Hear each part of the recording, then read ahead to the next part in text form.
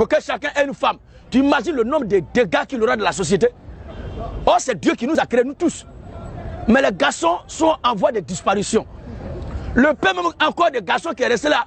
Il y a d'autres maudits qui ont jugé bon de donner leur derrière à leur ami garçon. C'est dans ça là, tu veux qu'on prenne une seule femme et non celle qui va les prendre. Alléluia. Vive la polygamie. Vive la polygamie. La polygamie est une bonne chose.